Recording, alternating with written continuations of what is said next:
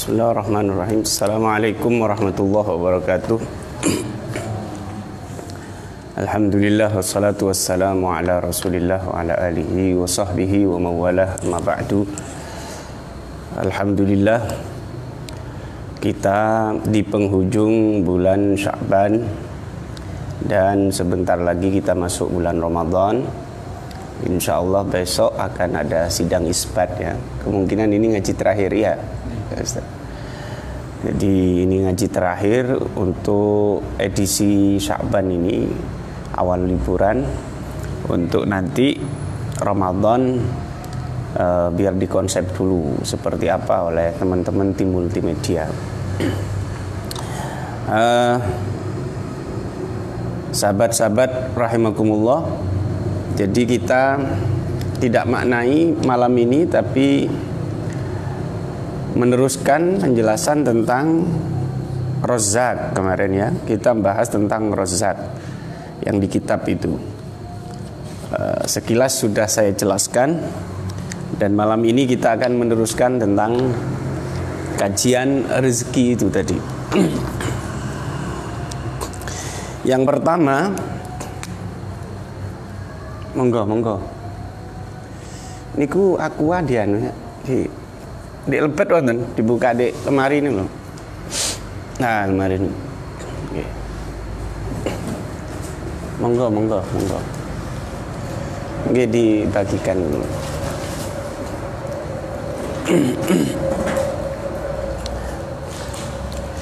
Sudah.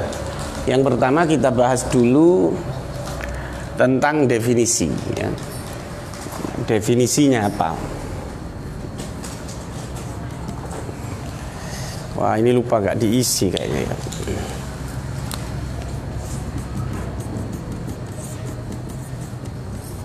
Tentang definisinya. Rizki itu apa? Ya. Kemarin sudah uh, Imam Syekh Syekh Nawawi itu sudah menjelaskan tentang pembagian rizki. Nanti juga akan saya bahas pembagian rizki. Tentang takrif atau definisi rizki itu menjadi pembahasan di dalam ilmu tauhid. Hampir semua ilmu tauhid atau kitab tauhid itu membahas itu. Di kitab-kitabnya Syekh Nawawi, sebagaimana saya jelaskan di awal ya, Syekh Nawawi itu punya kitab tauhid lima di antaranya Nurul Tolam, nanti ada Fathul Majid, ya, ada apa namanya, ini Kotrul Ghais, terus ada apa itu lupa saya yang dua. Lah orang ada juga Syekh dari Palembang yang yang menulis kitab namanya Fathul Majid, juga tauhid sama, yang nyarai Jauharutut Tauhid itu. Jadi saya ulang ya, jadi definisi rizki itu menjadi pembahasan ulama tauhid. Di samping mungkin ulama lain juga membahas. Apa rizki itu? Ada dua pendapat ya. Yang pertama, apa yang kita nikmati? Yang dinikmati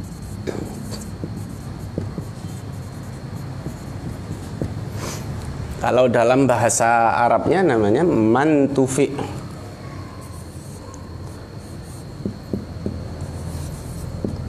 Ma untufi'a. Sesuatu yang kita ambil manfaatnya atau kita nikmati itu namanya rizki, ya, rizki. Ini pendapatnya ahlu sunnah wal jamaah. kita ahlu sunnah wal jamaah utamanya orang NU yang kebanyakan mengikuti madhabnya atau pendapatnya Imam Ash'ari ya, di samping sebagian ikut Maturidi itu meyakini bahwa rezeki itu adalah yang dinikmati bukan yang dimiliki ya bukan yang dimiliki pendapat yang kedua rezeki itu adalah apa-apa yang kita miliki yang dimiliki. Kalau bahasa Arabnya ma mulika. Sesuatu yang dimiliki, ya. sesuatu yang dimiliki itu dikatakan rizki. Ini siapa yang mengatakan begini adalah Mu'tazilah. Ya. Mu'tazilah. Mu'tazilah itu lebih mengedepankan akal ketimbang wahyu ya. Lebih atau bahasa kita liberal lah ya. Liberal. Enggak tahu saya ini masuk liberal atau enggak. Sebagian orang mengatakan saya liberal. Bahkan saya pernah soal seorang Habib lalu begitu nyampe langsung Gus sama nuju mikir liberal ya. Lu boten Beb, kalau ngaji Quran hadis Yang dimiliki. Ini dibahas di Jauharatut Tauhid. Pernah ngaji Jauharatut Tauhid? Nadoman itu loh. Iya kan? Nadoman Tauhid itu loh. Entah kelas berapa itu. Kalau di dalam Jauharatut Tauhid nadomnya begini. Warisku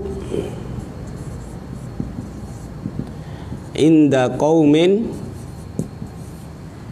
ma bihin tufi ya. Warisku inda qaumin ma bihin tufi tufi'a wa qilala bal mamulik wa matubi ini nadoman. Sater satu satu kedua. Warisku inda kaumin rezeki menurut sebagian kaum atau menurut ahlu sunnah wal jamaah adalah sesuatu yang dinikmati. Ya apa apa yang kamu miliki itu kan tidak semuanya dinikmati tuh kadang dinikmati oleh orang lain ya oleh orang lain. Wakilala ada pendapat lain yang mengatakan tidak begitu Rizki itu bukan yang dinikmati, bal mamulik, tapi sesuatu yang dimiliki. Tapi kata yang ngarang Jawharatul Tauhid, wa matubi pendapat itu tidak bisa diikuti, gak, gak api diikuti, tidak bagus tuh diikuti. Jadi berdasarkan ini, ini di kitab Jauharatul Tauhid ya. Jauharatul Tauhid. Uh, kitab Jauharatul Tauhid itu fenomenal, hampir di semua pesantren ngaji. Nadoman itu kecil. Kayak Alfia itu kan nadoman ya seribu. Jawaratul Tauhid itu ini entah ada berapa ini. Ini di antara syarahnya ya. Tuhfatul Murid ini syarahnya itu ada 15 saya punya dua yang tercetak itu yang 13 versi PDF kemarin saya sebar ke teman-teman Mahat Ahli. Ada 15 syarah tentang Jawharatul Tauhid itu. Hampir semua kemudian membahas tentang rezeki itu Oke, menurut kamu, menurut kalian, ini enaknya kita ikut pendapat yang mana? Rizki itu yang kita nikmati atau yang kita miliki? Hah? Yang kita nikmati, karena kadang kita tidak ikut memiliki, ikut menikmati. Contohnya ketika ditraktir, ah, itu kita kan tidak ikut memiliki itu, ditraktir orang itu loh. Ya, ini jadi perdebatan di tauhid sampai ada paling tidak tiga pendapat, tiga bantahan dari ulama ahlus sunnah terhadap pendapatnya Mu'tazilah. Bahwa pendapat Mu'tazilah yang mengatakan rizki itu adalah sesuatu yang dimiliki itu fatal, salah. Satu ya, satu ini bantahannya, bantahannya ulama apa? Ahlus sunnah. Kalau memiliki rumusnya sama dengan mendapat rizki, ya kan? Oke. Kalau apa yang kita miliki itu adalah rizki kita, ya. Jadi rumusnya adalah ketika orang itu memiliki, maka itu sama dengan mendapat rizki. Maka siapa di dunia ini yang miliknya paling banyak? Allah Subhanahu wa taala. Allah itu apa? Allah itu pemilik segala hal ya. Allah pemilik segala segalanya. Berarti karena Allah memiliki, Allah juga dapat rizki. Ya, ya, paham ya? Kalau yang memiliki itu dapat rizki sama dengan dapat rizki berarti Allah karena memiliki alam semesta Allah juga mendapat rizki. Terus pertanyaan ulama ahli sunnah siapa yang ngasih rizki Allah? Hah? Ayo masuk masuk. Paham ya? Jadi kalau rumusnya itu memiliki sama dengan dapat rizki, berarti Allah yang memiliki alam semesta, apakah kemudian dikatakan Allah dapat rizki? Itu yang pertama. Ini alasan yang pertama ya, bahwa Allah itu pemilik segala hal dan Allah itu tidak marzuk ya. Jadi ini rumusnya kalau Malik Malik itu sama dengan marzuk marzuki Marzuki itu kan yang di rizki, yang diparing rizki, yang dikasih rizki. Kalau yang memiliki sama dengan diberi rizki, maka Allah dikatakan marzuk juga dikasih rizki. Siapa yang ngasih rizki Allah gitu? Itu fatal. Berarti konsep rizki yang dikatakan rizki itu adalah suatu yang dimiliki itu salah dari penjelasan ini. Yang kedua, hewan hewan itu punya hak milik? Hah? Hewan punya hak milik. Ah, ini Pak Bika tadi uh, update status ikannya di akuarium. Terus saya komentari, itu enak digoreng. Kata Pak Bika kalau jenengan yang mau monggo digoreng. Tapi untuk apa goreng ikan kecil gitu? Mending itu ikannya dijual, dibelikan ikan yang banyak ya, ikan-ikan biasa. Ya. Lah ikannya Pak Bika itu atau burung yang teman-teman itu banyak yang memelihara burung ya. Jangan apa namanya? konotasinya jangan jelek ya lo burung itu ya burung yang ada di sangkar itu ya. Lah itu setiap hari dapat makan enggak? Dapat kan? Dapat makan burung-burung dan ikan-ikannya Pak Bika itu punya hak milik enggak? Enggak memiliki itu, ya. Tapi mereka menikmati makanan setiap hari. Maka rizkinya hewan itu adalah sesuatu yang dinikmati. Sehingga kalau kemudian dikatakan bahwa rizki adalah sesuatu yang dimiliki, bagaimana dengan makhluk-makhluk yang tidak punya kepemilikan? Berarti kamu akan mengatakan berarti hewan itu tidak dapat rezeki. Kenapa? Karena hewan tidak memiliki. Lah hewan itu nyolong ya. Semut itu kan nyolong. Pekerjaannya ya. Ayo, semut itu. Semut itu karena bekerja atau karena mencuri punya orang, punya manusia? Hah? Eh, kamu buat kopi, ada cake, ada kue gitu ya, dibiarkan di sini ini sebentar saja sudah ah, datang itu kan semut di mana ada yang manis-manis itu akan dikerubungi semut. Nah, kecuali orang ya, mau manis sekali itu tidak dikerubung semut kan. Dan semut itu hebat. Saya beberapa kali itu melihat semut itu pokoknya ada makanan itu kan dia gotong royong membawa kan ya. Ya, yang pertama karena semut itu tidak mungkin untuk mengangkat sendiri. Akhirnya semut itu kan memberikan sinyal, isyarah Teman bisa cek di bukunya anak-anak kecil yang pengetahuan itu. Itu semut ketika mendapat makanan itu mengirimkan sinyal kepada teman-temannya atau kontak teman-temannya untuk datang. Ya, itu semut loh, nggak pernah makan sendirian. Dibawa pelan-pelan kan bawa itu ya. Dibawa nanti dibawa ke rumahnya ke sarangnya itu dimakan bareng-bareng. Nah, manusia kalah dengan semut. Ya, kalau kita dapat nik, dapat rezeki itu dapat sesuatu inginnya kita nikmati sendiri kan? Ayo, kamu kalau dapat rezeki itu mengirimkan sinyal ke teman kamu atau kamu nikmati sendiri? Hah? Ah, nikmati sendiri saja. Jangan sampai teman saya lebih kaya dari saya kan. Ini yang kedua ya, bahwa hewan itu tidak memiliki, tetapi tetap dikasih rezeki. Ya tetap dikasih rezeki. Yang ketiga, ini saya tapi yang ketiga ini tidak disebutkan di kitab ya. Anak itu kan rezeki. Iya. Allahumma rizukni waladan solihan ya Allah berikan rezeki kepadaku berupa anak yang soleh ya. Ada pertanyaan teman-teman tuh nanya Gus ngapain saya itu berdoa Semoga saya diberikan keturunan yang soleh soleha. Toh saya belum punya ibunya anak-anak. Oh, belum menikah kok sudah berdoa minta itu. saya katakan itu ibaratnya menabung doa. Ya. Walaupun kamu itu belum punya anak, tetap berdoa ya Allah kalau punya keturunan aku semoga keturunan yang baik. Itu kan dalam rangka menabung itu tadi.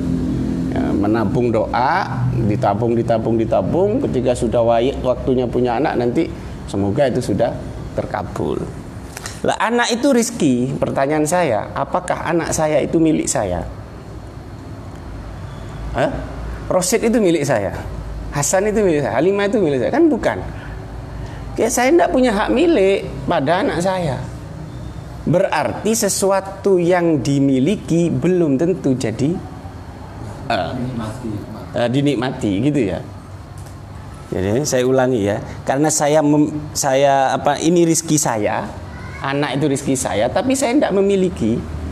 Uh, tapi saya kan ikut menikmati anak saya, kan seneng kan anak kecil begitu walaupun nesu dan seterusnya kan macam-macam lah nanti ketika saya mati anak saya mendoakan dan seterusnya kan saya menikmati itu jadi anak itu adalah rizki walaupun tidak kita miliki walaupun bukan milik kita ini bantahan ulama tapi kalau yang ini saya tidak akan mengatakan ulama yang ketiga ini ya karena otak adik saja kalau yang ini memang disebutkan di kitab-kitab yang saya sebut tadi, sarah-sarahnya Jawharut Tauhid itu dua-duanya itu disebutkan ya.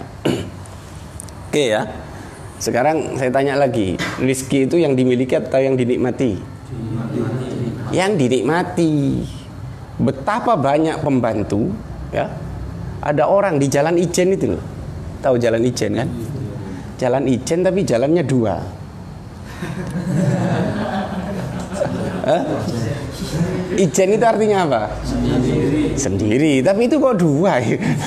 Ini jalan luru ini. Orang ijen. Jalan ijen itu.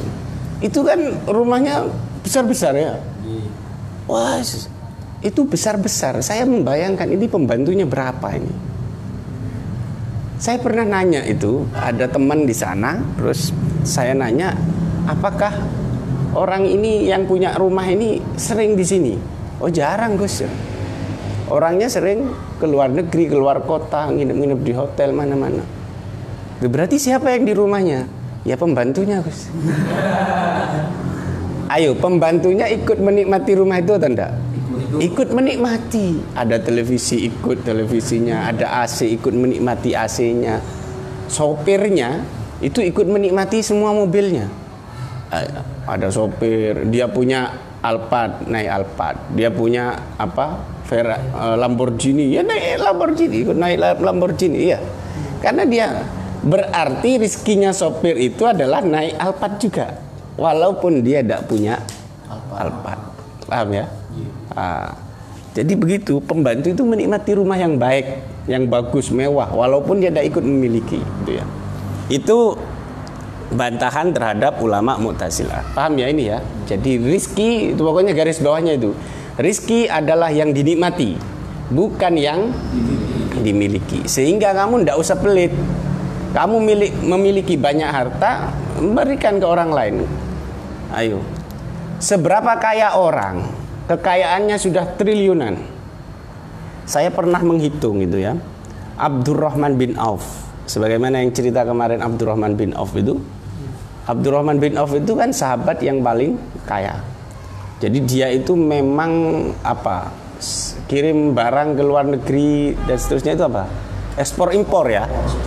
Jadi dia itu ekspor impor. Lah kalau datang itu rombongan dagangnya kafilah dagangnya Abdurrahman bin Auf itu itu Madinah horek apa horek itu bergetar saking banyaknya apa namanya hewan tunggangan yang membawa dagangannya Abdurrahman bin itu horeg. Itu saya pernah menghitung setelah beliau wafat warisannya itu 4.200an triliun. Lah di, di Indonesia itu orang paling kaya berapa triliun? Hah? Berapa triliun? 6 triliun?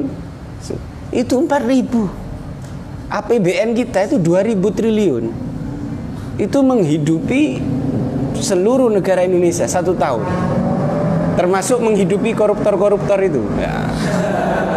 kan dikorupsi oleh orang-orang itu ya jadi dua tahun itu dua tahun itu sangat kaya sekali ya uh, apa namanya saya ingin cerita apa tadi? Kok sampai ah? Abdurrahman bin Auf itu loh sebelumnya cerita apa? Anak. Hah? anak. Eh selupa ya. Ya sudah ya. Ya itu pokoknya sesuatu yang dinikmati itu tadi ya. Ya sudah dikasihkan gitu loh.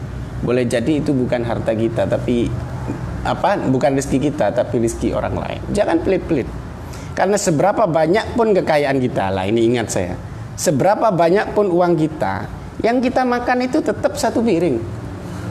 Iya dah ayo sudah 4000 triliun orang yang kaya betul. Atau dia punya pabrik uh, semacam bulog lah. Dia punya usaha jualan beras sampai ratusan ribu ton. Masa dia mau makan bertonton? Ya satu piring saja kan baju itu yang dipakai berapa? Paling rangkep dua kan ya? Eh saya pakai dalaman terus baju kalau mau ketok keren kelihatan keren pakai jas gitu kan. Masa kamu mau pakai 10 baju dalam satu waktu? Kan tidak gitu loh. Jadi yang kita nikmati rezeki kita itu sedikit sebenarnya. Nah. Sudah itu yang ini ya yang sekarang tentang uh, pembagian rezeki. Saya hapus ya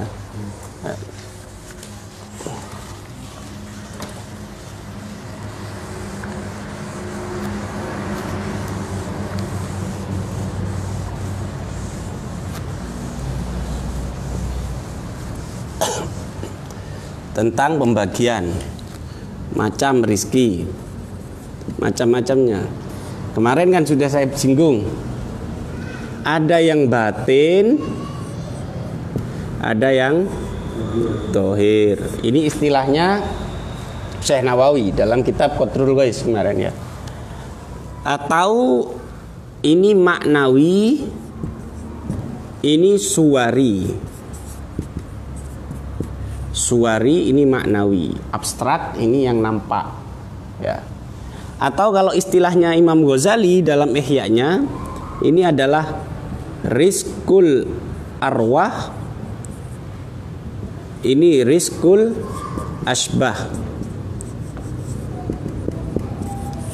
Makanya redaksi tawasulnya Yai yang terakhir itu loh.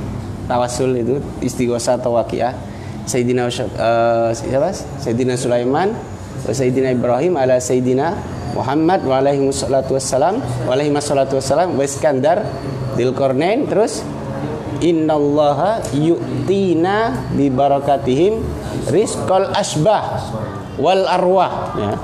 Itu Yai mengutipnya dari Ihya karena Imam Ghazali yang uh, punya definisi rizqal asbah wal arwah. Rizkinya badan dan rizkinya roh kita, rizki jiwa kita. Jadi rizki itu ada dua.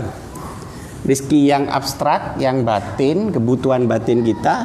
Ini bisa pengetahuan, ya, bisa perasaan, perasaan bahagia, dan seterusnya.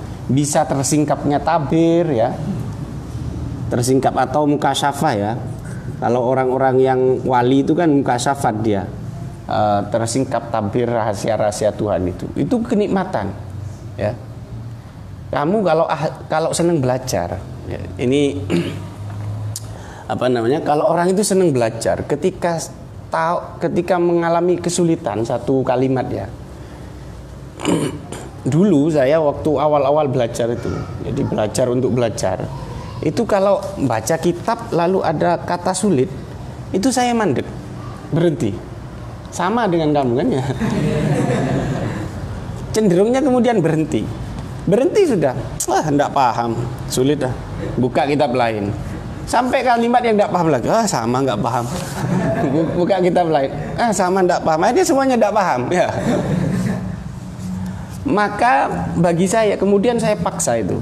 Ketika saya belajar satu kitab uh, saya paksa untuk ketika ada kalimat sulit saya cari betul. Itu apa maknanya? Gimana memaknai ini? Murad maksudnya gimana? Itu ketika kita tahu setelah berpikir panjang itu lega rasanya. Iya. Nikmat gitu loh. Ini rizki. Itu ngalah-ngalahi dapat uang. Betul itu. Ngalah-ngalahi dapat uang. Kalau kamu jadi guru, ya jadi guru, maknai mau maknai kitab lalu tidak paham, wah ini apa? Masa saya jadi ustadz ngajar Fatul Qorib, tidak paham ini menjelaskan, tidak bisa. Kan ya gengsi kan ya. Akhirnya berusaha nanya ke seniornya, nanya ke ustadznya dulu gimana ini maksudnya. Terus belum nanti holwat ya, menyendiri kemudian sambil minum kopi, sambil menikmati lah ya. Uh, uzlah uzlah. Lalu berdoa ya Allah tolong bukakan pintu kepahaman. Ternyata begitu bangun tidur itu paham. Oh ternyata maksudnya begini. Paham saya sekarang. Akhirnya menjelaskannya enak ke anak-anak itu. Wah itu kenikmatan itu. Itu rezeki gitu loh. Ya itu rezeki. Perasaan yang hinggap pada kita itu adalah rezeki. Kemudian yang suari ini yang lahir ini adalah seperti harta ya uh, harta lah atau makanan minuman pakaian sandang papan pak pangan itu ya sandang papan pangan ya. Uh, ini sandang sandangan sandangan santri ya. Sandang papan dan pangan. Ah, yes. ini istilahnya adalah mal ya. Ini istilahnya bahasa Arabnya adalah malun jamaknya amwal amwal ya Hampir semua ulama mengatakan bahwa rizki yang paling hina adalah rizki harta. Rizki yang paling hina itu rizki harta. Itu derajatnya di bawah rizki yang ini. Dulu, rizki yang ini. Oke, sekarang kita bahas amwal itu. Apa konsep Nabi tentang harta? tentang mal itu tadi. Satu saat Nabi itu berkata begini, bersabda. Bersabda apa berkata? Bersabda ya. Sabda Aziz.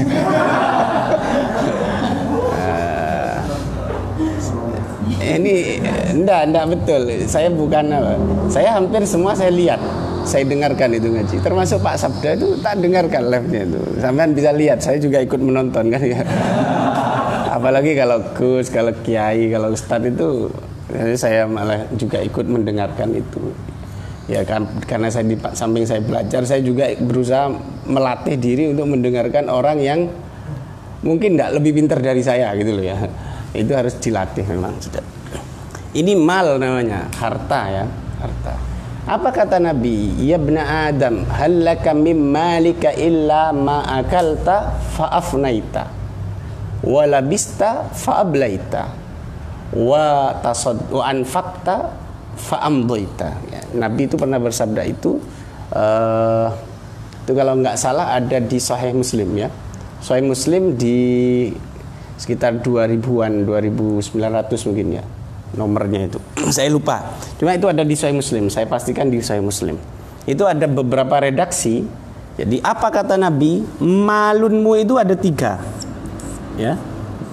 Harta ini ada tiga. Ini bukan otak adik saya bukan. Ini memang dari Nabi. Ya. Ma akalta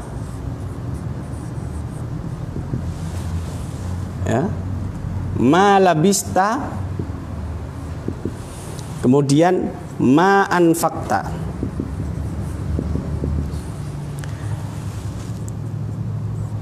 fahallaka yabna adam min malika illa ma akalta fa'afnait Hai anak Adam, apakah hartamu itu tidak hanya terbagi menjadi tiga? Harta kamu itu terbagi tiga. Satu yang kamu makan, lalu faafnaita, ya. Afnaita itu jadi kotoran. Hmm? Rizki kamu, harta kamu itu ya yang kamu makan. Lalu jadi apa? Kotoran. Mau yang kamu makan itu macam-macamnya banyak, mewah. Mau sate, mau gulai, mau pete, mau iwak teri, mau tahu, mau tempe, mau lobster. Ya. Tahu lobster kan ya? Wah itu mahal itu lobster itu. Ya, itu kolesterol tinggi tapi jangan banyak-banyak ya mau lobster akhirnya jadi apa jadi satu macam kan yang masuk ke tubuh kita ke perut kita itu macam-macam itu kelas-kelasan ada yang sepuluh ribu ada yang mungkin seribu ya. Ada sepuluh ribu ada seratus ribu. Loh, coba zaman bayangkan. Harganya minuman ini aqua ini loh. Di sini berapa Pak Bika? Yang Cleo ini loh. 1000 1500 ya. 1500 coba zaman beli di Juanda. Ah, ya. Jadi berapa itu? Dan sama itu. Jadi 30 ribu bisa jadi apalagi kamu naik pesawat yang pesawatnya kecil tidak disediakan makan minum. Itu kan orangnya jualan nanti pramugarinya pramugaranya. Itu jualan. Itu bisa mahal lagi bisa 50 ribu aqua satu itu. Aqua satu itu loh. Ya, makanan juga begitu macam-macam. Ada yang puluhan juta makanan itu. Kalian bisa cek di internet itu makanan paling mahal berapa. Tapi jadinya apa? Satu macam. Siapa yang mau beli itu kemudian yang mau beli kotoran itu loh Makanya kata Nabi itu apa yang kamu makan seberapa mewah yang kamu makan akan jadi kotoran. Jangan sombong gitu. Jadi kotoran. Malabista yang kedua yang kamu pakai, pakaian kamu. Pakaian fablaita kemudian akan jadi usang. Ya. Akan kumal, akan usang. Seberapa mahal baju kamu ketika sering dipakai dan dicuci akan jadi apa? Usang ya. Akan jadi usang. Wa anfakta wa ma anfakta kemudian yang kamu sedekahkan yang kamu nafkahkan itu faam doita dan ini yang kekal. Ini yang sebenarnya menjadi tabungan. Ya menjadi tabungan. Ini akan kusam. Atau kumal lah ya. Ini akan menjadi kumal. Ini yang menjadi tabungan kata Nabi jadi justru apa yang diberikan ke orang lain itulah yang akan abadi. Karena itu yang akan menjadi bekal kita menghadap Allah Subhanahu wa taala. Tapi yang kita makan jadi kotoran. Yang kita pakai akan rusak ya. Akan menjadi gombalan ya. Ini gombalan-gombalan tidak berharga. Ya. Sedang. Ini per, ini ada beberapa hadis yang mendukung ini, bukan hanya di Sahih Muslim. Saya pastikan ini ada di Musnad Ahmad. Eh, Musnad Ahmad itu sekitar 12 juz atau berapa ya? Musnad Ahmad itu kitab hadis yang agak agak banyak karena Sahih Bukhari itu kan kalau yang ini kan jadi satu satu juz ini. Tapi eh, Musnad Ahmad itu 12 kalau tidak salah. Ada lagi Majma'uz Zawaid itu kitab hadis yang berjilid-jilid. Itu ada cerita begini. Ini sudah saya catat karena tidak mungkin saya bawa kitab banyak ya. Jadi saya catati ada kisah Sayyidah Aisyah. Nah, makanya memang Sayyidah Aisyah itu yang populer karena Sayyidah Aisyah itu yang banyak cerita gitu loh. Secara SDM karena masih muda dan seterusnya, nah, itu memang Sayyidah Aisyah itu memang mumpuni. Nah, Sayyidah Nabi itu pernah satu satu hari ja'athu syatun kahadiyatin. Ada orang memberi kambing, memberi kambing. Memberi kambing ke Nabi. Lalu kata Nabi kepada Sayyidah Aisyah tasaddaqi bilahmiha. Sayyidah, hei sayang itu berikan sedekahkan apa namanya daging-dagingnya. Nah, kalau tulangnya ngapain gitu kan? Tulangnya, kulitnya ya ndak usah. Kemudian singkat cerita sama Sayyidah Aisyah setelah disembelih oleh apa? oleh pembantunya, kemudian ini dibagi-bagikan ya sama Sayyidah Aisyah. Disisakan sama Sayyidah Aisyah itu katif Katif itu pundak. Hah? Jadi apa namanya? Geger ya apa? Punggung ya. Karena kata Sayyidah Aisyah, kenapa saya sisakan punggungnya atau bahunya? Karena Nabi itu paling suka kalau kambing itu adalah bagian punggung, bagian paha. Sehingga saya sisakan. Ini kan istri yang luar biasa kan, tahu kesukaan suaminya. Suaminya tidak suka pedes kok dimasakkan pedes. Ya marah-marah terus ya. Suaminya tidak suka manis, kok dibuat manis. Suaminya tidak suka pete, kok makan pete di sampingnya. Itu kan marah-marah terus. Jadi istri yang baik yang tahu ya adalah istri yang tahu kesukaan suaminya. Itu Sayyidah Aisyah.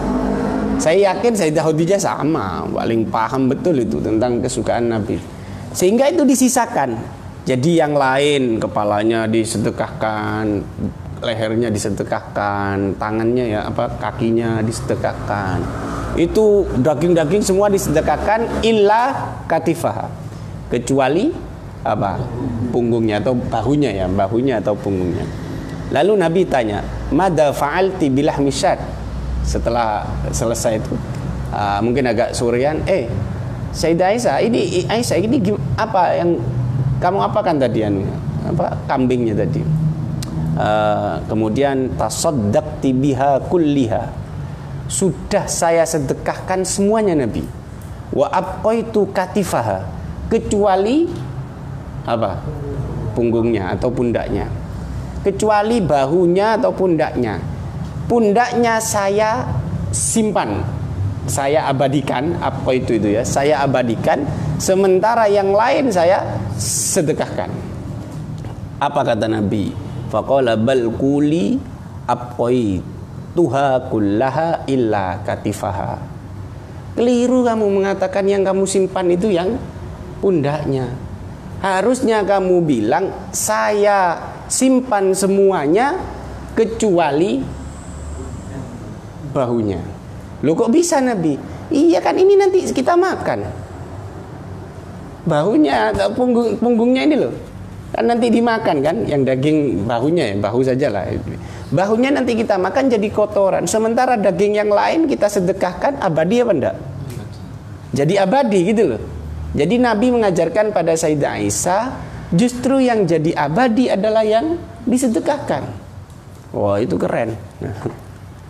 ya, saya berulang kali di banyak tempat saya bilang, apalagi di jamaah-jamaah perempuan itu saya bilang, kalau mau ngasih sesuatu, kasihlah sesuatu itu yang masih layak, masih kamu senangi. Makanya di Quran itu di juz 4 itu lantana lul birro hatta tunfiku mimma tuhibbun. Kamu tidak akan mendapatkan kebaikan kecuali kamu memberikan atau mensedekahkan sesuatu yang kamu senangi. Kalau orang itu kayak saya misalkan dapat berkat ya. Nah, karena memang tidak tahu kok ada tradisi berkat itu. Saya tidak paham betul. Dan lucunya orang itu kan kadang nggak nggak bilang. Kalau ngasih berkat, tahu-tahu ada di mobil. Ya, ada di mobil, kadang ada di bawah Pernah saya satu sampai berapa hari tidak keluar itu begitu buka mobil, oh kok bau? Apa? Ternyata ada berkat. Jadi saya pikir tidak ada berkatnya gitu kan. Nah, tidak ada berkat. Lah itu kalau dapat berkat kita. Begitu datang ke rumah, blek ternyata sehari misalkan ada tiga, ada tiga berkat. Itu yang kita sedekahkan yang mana? Yang disukai atau yang nggak disukai? Yang nggak disukai. Bahkan itu tiga-tiganya masih disimpan. Jangan, jangan ini ini kasihkan anak-anak ya. Jangan dulu, siapa tahu kita ingin. Gitu. Padahal itu misalkan jam 10 pagi, apa tuh? Begitu sudah sore ternyata dua berkatnya belum kemakan. Agak malam jam 9. Wah, ini gak kemakan ini kenyang sudah. Sudah kasihkan anak-anak, ya. Kasihkan tetangga misalkan. Begitu kan ya? Harusnya kita awal sudah. Sudahlah ini cukup satu saja, yang dua kasihkan ke tetangga kita, ke orang yang lain. Begitu. Harusnya begitu. Karena yang akan jadi kotoran adalah yang kita makan, yang kita berikan ke orang lain itu yang akan jadi abadi. Simpenan kita menjadi bekal kita menuju Allah Subhanahu wa taala. Itu yang dikatakan oleh siapa tadi? Uh, Sayyidah Nabi kepada Sayyidah Aisyah. Ini Nabi. Kalau saya pernah membuat desain ini ya, membuat desain di apa yang karena saya punya uh, akun pesantren Cahaya yang memang untuk motivasi ya. Itu promosi pondok tapi soft. Tidak langsung foto-foto kan. Karena cenderungnya orang itu kan kadang kalau tahu oh, ini pondok ini ah sudah lihat wis karena bukan pondoknya dia gitu loh, tidak ada chemistry. Tapi kalau saya memang mainnya di yang soft kalau orang itu nasihat, entah pondoknya siapa kan dinikmati kan ya. Akhirnya kan merujuknya gak nerdua gitu loh. Merujuknya gak nerdua. Nah, bagi saya ada tiga. Ini pernah saya desain ya. Ini yang desain ini Pak Vika ini. Ya. Satu itu yang uh, apa namanya? Yang dinikmati ya. Iya, Bim. Yang dimakan.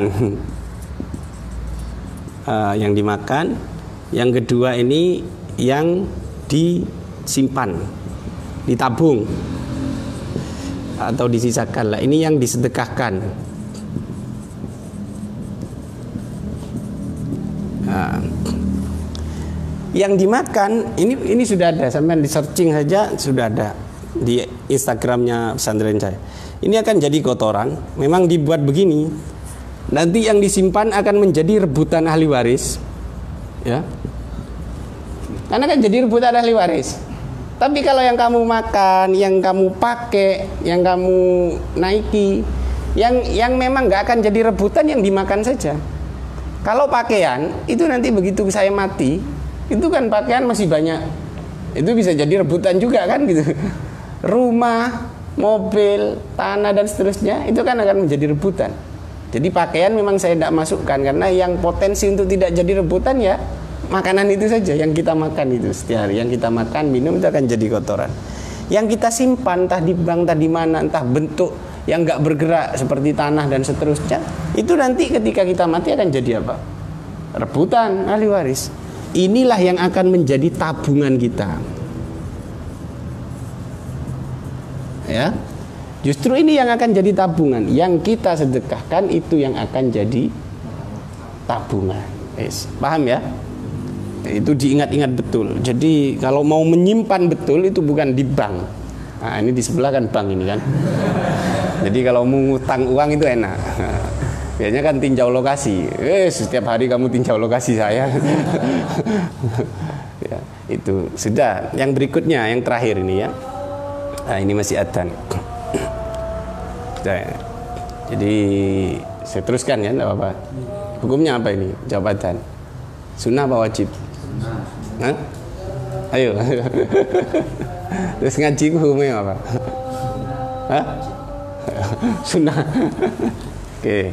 Yang terakhir begini. Ini menjadi renungan renungan saya pribadi dan mungkin renungan teman-teman semua. Uh, kita itu lebih suka diberi ketimbang memberi. Iya. Ayo wis, tidak usah munafik. Kita itu lebih suka diberi ketimbang memberi. Padahal konsep Nabi yang jelas, al yadul ulya khairun minal yadis sufla. Tangan yang memberi itu lebih baik daripada tangan yang menerima, yang dibawa. Nah, makanya ada seseorang bertanya kepada Sayyidina Ali. Sayyidina Ali kasih tahu saya, gimana caranya saya tahu saya ini orang yang ahli dunia, ahli dunia atau ahli akhirat? Apa kata Sayyidina Ali? Ini disebutkan di kitabnya Syekh Mutawalli Sya'rawi ya. Yang Syarhul Ahadis Al-Qudsiyah kemarin. Itu ada di uh, juz uh, berapa ya? Juz 2 kayaknya, juz 2. Apa kata Sayyidina Ali? Jawabannya ada pada kamu. Apa itu Sayyidina Ali? Kamu pikirkan di antara dua ini. Ada orang datang ke rumah kamu, dia bawa sesuatu ingin memberi pada kamu. Ya. Saya ulang ya. Orang pertama datang, dia bawa amplop 10 juta untuk kamu. Karena terkenal kamu tuh kiai yang doanya mustajab dan seterusnya misalkan ya. Langsung berdoa gini langsung mustajab. Wah. Ini ada orang datang begini kepada kamu mau bawa 10 juta. Yang kedua ada tamu pada kamu dan itu rutin. Dia minta-minta ya ada orang datang ke rumah kamu itu minta-minta ya mungkin kamu ngasihnya 10 ribu 20 ribu 50 ribu ngasih 100 itu kan sudah terlalu berat iya kan sekaya apa pun, saya yakin, sekaya apa pun itu akan sulit memberi. 100 ribu itu pikir-pikir Betul itu pikir-pikir. Kecuali orang yang kita sukai, yang kita senangi, saudara dan seterusnya itu kita beri. Karena itu pengalaman pribadi saya ya, saya berani ngomong begitu. Kata Sayyidina Ali, di antara dua ini mana yang kamu lebih suka? Kalau ada orang datang ke rumah kamu karena ingin memberi pada kamu, yang kedua, orang datang ke rumah kamu karena ingin meminta kepada kamu. Mana yang kamu suka? Ya, saya suka orang yang memberi. Ah, berarti kalau kamu suka terhadap orang yang memberi, itu kamu ahli dunia. Ya, kedunyan. Tapi kalau kamu suka ada pengemis datang ke rumah kamu minta-minta, orang yang minta-minta datang ke rumah kamu, itu kamu ahli akhir. Itu Sayyidina Ali. Itu pikir-pikir kamu, pikir-pikir sendiri. Jadi kalau masih seneng diamplopi dikasih orang, itu si ahli dunia. Ahli dunia. Makanya memang orang itu kan harus melatih diri untuk selalu memberi. Saya bukan bukan sombong dah, memang saya memang melatih anak anak saya istri saya seringlah memberi gitu.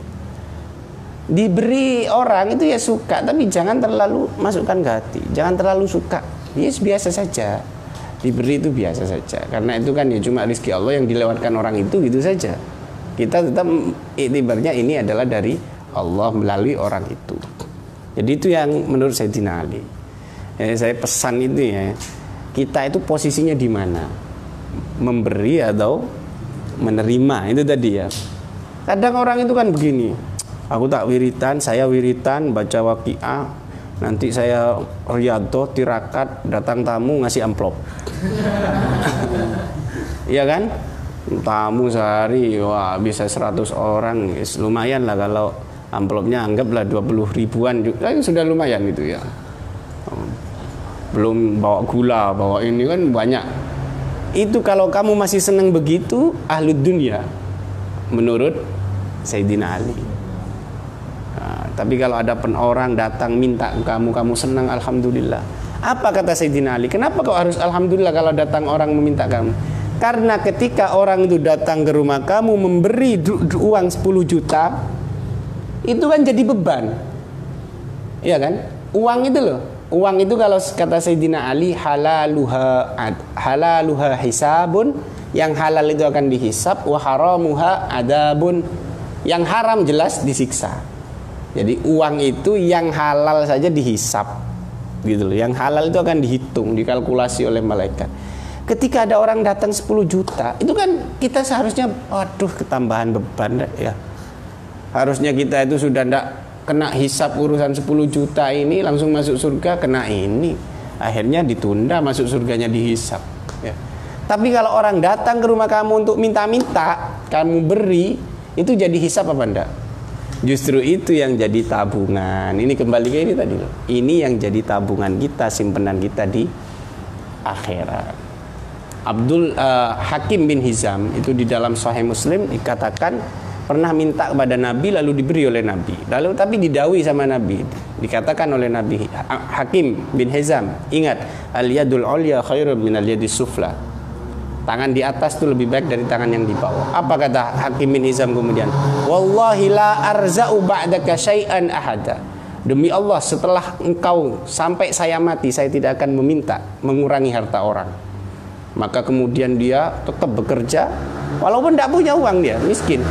Ketika zamannya Abu Bakar itu dapat harta ya subsidi lah dari pemerintah dipanggil oleh Abu Bakar ini subsidi kamu. Wah, tidak mau saya Kata Nabi yang di atas lebih baik dari yang di bawah. Saya mentalnya memberi, bukan mental menerima. Ketika Umar bin Khattab begitu juga, diberi itu, disubsidi rek. Apa itu kalau pemerintah itu? Bantuan tunai itu lah ya. Wah, 300 ribu itu begitu. Ini bagian kamu. Wallahi saya tidak akan menerima. Kenapa? Karena kata Nabi tangan yang di atas lebih baik dari tangan yang di bawah. Lalu Sayyidina Umar mengatakan, saya umumkan Hakim bin Hizam ini, wallahi dia ahli surga. Kenapa? Karena dia telah mempraktekkan betul sabda Nabi. Lebih baik tangan di atas ketimbang tangan bawah. Itu sulit betul itu kita. Jadi jangan jadi mental penerima. Jadilah mental pemberi, ya. Mental pemberi. Kamu jadi apa pun jangan jadi mental penerima tapi jadilah mental pemberi karena sabda Nabi mental pemberi itu lebih utama ketimbang mental penerima. Kalau bahasa hadisnya al yadul ulya khairun minal yadis sufla. Itu saja uh, dan saya dari awal sampai akhir kalau ada kesalahan mohon maaf yang sebesar-besarnya. Rabbana la tu'akhidna in nasina aw akhtana. Rabbana la tu'akhidna in nasina aw akhtana. Rabbana la tu'akhidna in nasina wa akhtana. Subhanakallahumma wa bihamdik asyhadu an la ilaha illa anta astaghfiruka wa atubu ilaik. Assalamualaikum warahmatullahi wabarakatuh.